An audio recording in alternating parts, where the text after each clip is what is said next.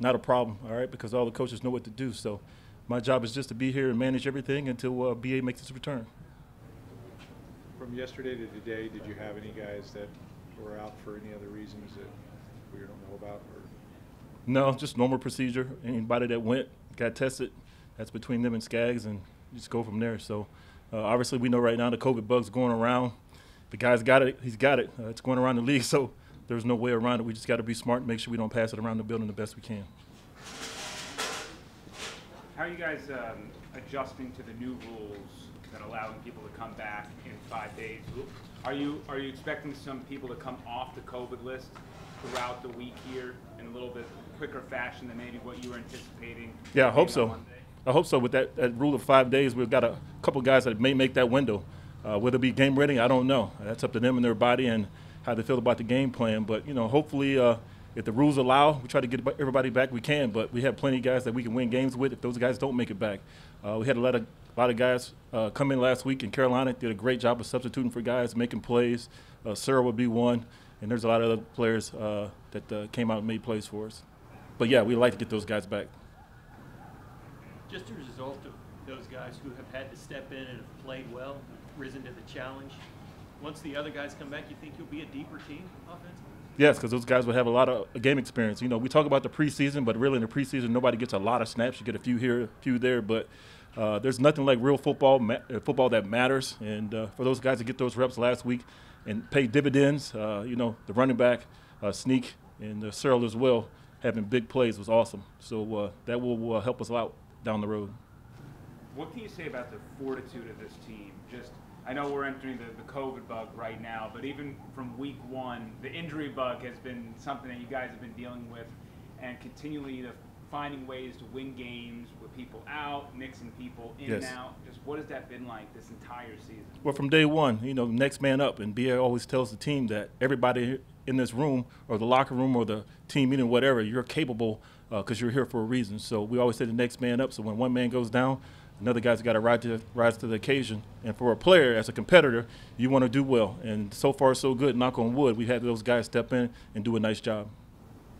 Have you guys in the last, Yeah, you did. Jeff. have you guys in the last week just instilled any stricter protocols just as an organization? Uh, just trying to wear your mask in the building. Uh, try to stay uh, six feet apart. Uh, make sure you honor all the rules inside the building. And even when we were over in the team meeting this morning, I just had to remind guys to spread out. Uh, just get away from each other. Just because it's just a dangerous time right now, not only for us as players, but for the nation, for the world, for that uh, for that part. But we just got to be smart about it. It's here. We all know it's here, and we just have to be aware of what we're doing, shaking hands, washing our hands, all that kind of thing. Just be smart. I know that you guys have an emergency quarterback in Cam Brate. Some teams are having a quarantine quarterback. Are you guys doing anything additional other than, than having Cam as, as kind of your emergency QB in case if COVID hits that room? At this point, I don't think so, but that would probably be between Jason and BA. Uh, at this point, I think it's business as usual. With the quarterback room, they do a great job of being smart, uh, how they carry themselves around each other. And uh, so, knock on wood, so far we're good at that spot. Did you get a chance to talk to BA today? Has he, has he spoken with you since he uh, tabbed you as his successor for the Well, it was yesterday morning. I haven't talked to him today. It was yesterday morning, and my phone rang, and just the pit of my stomach just knew what that phone call was about to be about because he never calls me in the morning because I expect him to be in the office. And, uh, you know, himself, just being the way he is, he goes, Hey, got a little problem with this COVID thing. Uh, you got it. It's like, okay. He's like, all right, talk to you later. Click. And uh, I actually ended up calling him back last night. We talked for a little while, and he goes, hey, I don't want to do any Zoom meetings. I trust you, and uh, you'll do great. Just be yourself, and uh, I'll be back as soon as I can. So that's all he said to me. You've been like tethered in his hip throughout your career. I mean, you followed him to multiple destinations. Yes. Um, just when you when you're with somebody that long, what is the connection like? I mean, you almost feel like you're in a position to be able to read each other's thoughts. I would say so, and I, I view BA as one of my major mentors as, as far as my coaching career. Because, like you said, I've been with him a lot, and uh, I probably in some kind of shape or form carry a lot of his manner, mannerisms, mannerisms too. Uh, I don't ride the golf cart, but uh, a lot of things he does, says, he sees, I see the same thing, so it makes it an easier transition for me.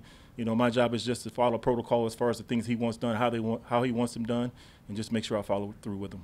And how about you and, and, and Byron, obviously, because like you're overseeing the whole thing. Yeah. My guess is he's going to be still handling the offensive play calling and everything. How is you guys' communication with one another? It's fine. We all I got to do on game day is just manage timeouts. Uh, if BA doesn't make it back, uh, just situational football things as far as going forward, not going forward. At the end of the day, Byron's won the Super Bowl here with us, done a great job. Todd's done a great job defensively. So my job is just to help them with whatever they need, and uh, not uh, you know put my foot down until it comes to like maybe short yardage play as far as going for it, not going forward, and things of that nature. We hear talk about coordinators being considered for head coaching jobs. Yes, sir. We talk about the firemen, Bowles, and people of that sort. What about Colonel Tootle? What, what's your position in all this, or what are you looking for in, in terms of opportunities that might come your way to be the head man for real? Well, I think you, uh, when you're in this profession, you want to be a head coach. I've had the pleasure of interviewing with a couple teams in the past, uh, you know, but I know this league is predicated a lot on play callers.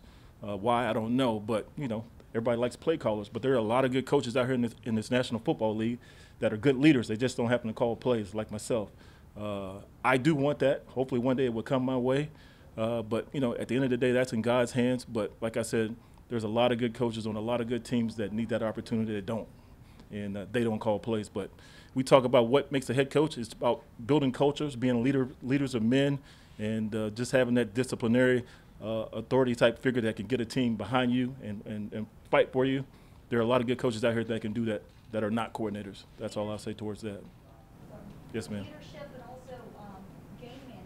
right? Yes. Like, are those given enough credit when it comes to looking for attributes that make a successful head coach? Because not everybody can make those really critical decisions, um, or, or get their team in a position to where they're not wasting valuable time, you know, as the clock is about to expire. Yeah. And we've seen teams fall apart this season Correct. because they weren't prepared in those situations. Yeah, uh, BA's been around a long time, so he has a good feel, of that, feel for that kind of stuff. I think Todd does as well since he's been a head coach.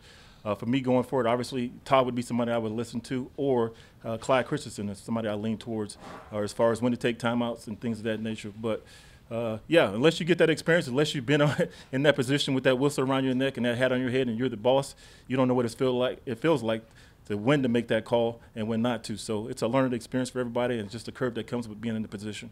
Okay, final question? And I just want, uh, point clarification. So while Bruce is gone, he's gonna stay out of everything, so it'll just be the people in-house here. He never stays out of everything. He's in constant contact with Byron Todd. Uh, I've talked to him. I'm sure I'll talk to him again today. And then Jason's also a messenger as well. So uh, at the end of the day, BA is part of this. This is BA's show. Uh, this is BA's team, and uh, this is a players' team. So we're just here as figures heads just to make sure we get through Sunday and get a victory. If BA doesn't make it back. Thank you. Thanks, thank Yep. Thank you so much.